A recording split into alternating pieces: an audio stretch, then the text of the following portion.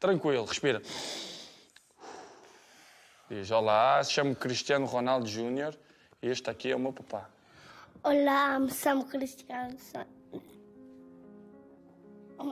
Olá, me chamo Cristiano Santos. A- Aveiro.